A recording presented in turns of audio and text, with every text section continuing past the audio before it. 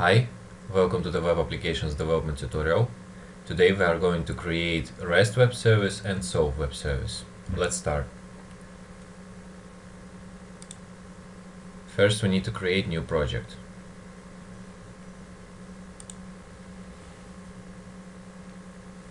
Select Empty Template and select Web API for core references. Now we need to add controller.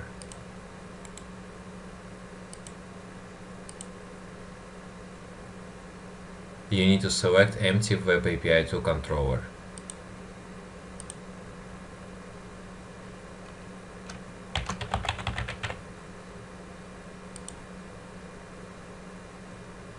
And let's define simple method that will return us string. Before we test it, we need to change the routing configuration.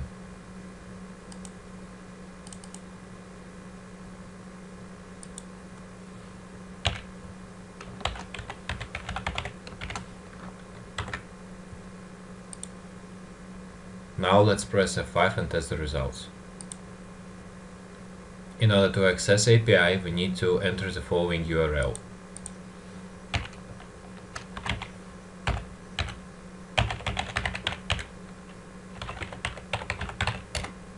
Depending on the browser, the content will be returned either in the XML or in a JSON, depending on the content type sent in the request.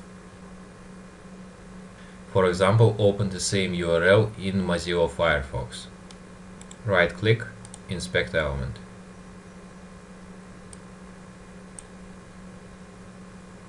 Switch to the Network tab, press F5. Click on the request. So by default the content type is application XML and the result is sent as an XML document. Now let's change the content type of the request.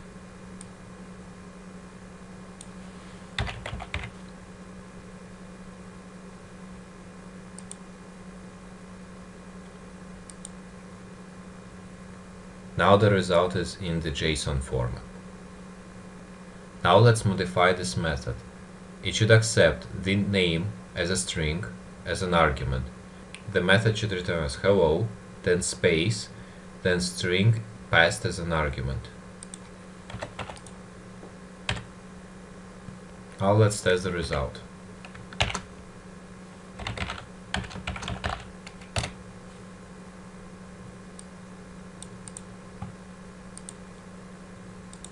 Now we need to update the controller. We need to use the singleton design pattern in order to store the list of the products in the memory. Then we need to add two methods. One to get the list of the products stored, second to add new product. The products will be stored as a collection of strings. So this is a singleton design pattern. Now create two methods. Now test the results.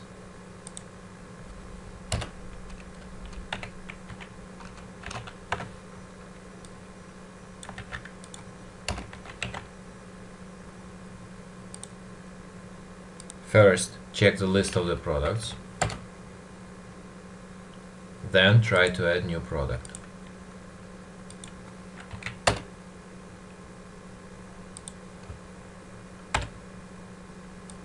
So the product was added successfully.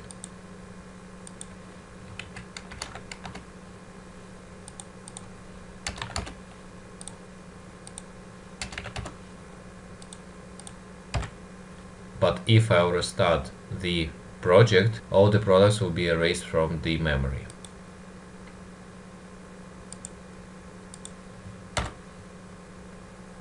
Now let's create the SOAP web service we need to create a separate project for that.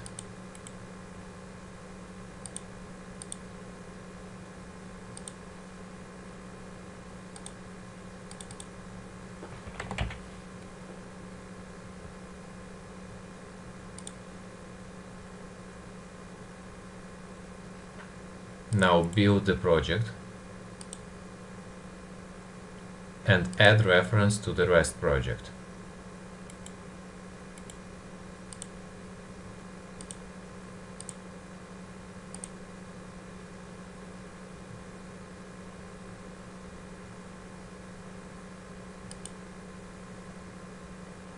And let's call the method of the SOAP web service using our REST web service and test the result.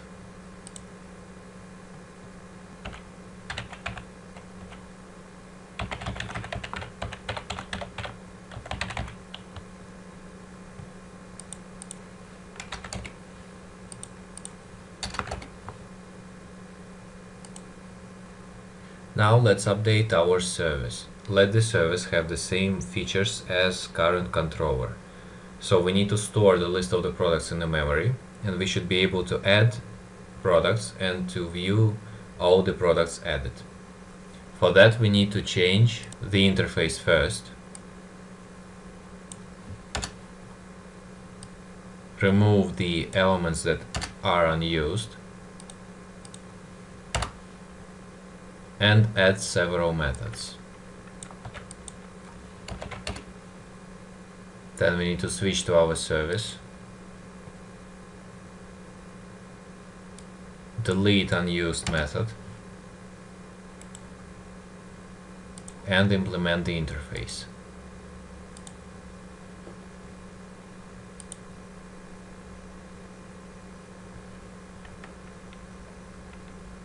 Now we should use the singleton pattern to store the list of the products in the memory.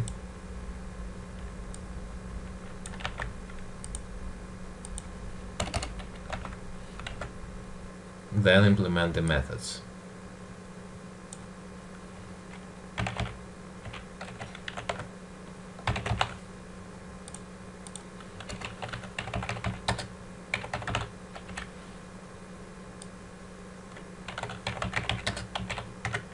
Now build the SOAP project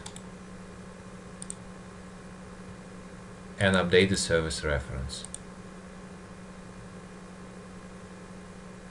Switch back to the controller and update current methods.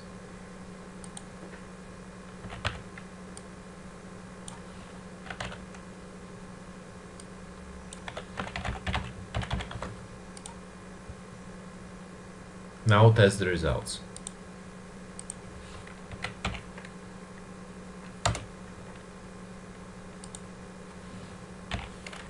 Add couple of products.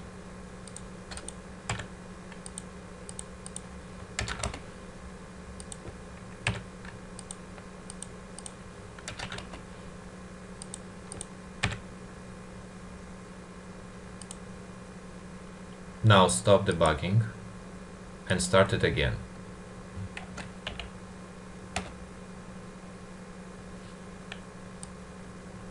And even if you stop debugging, stop the REST application, your products are still stored.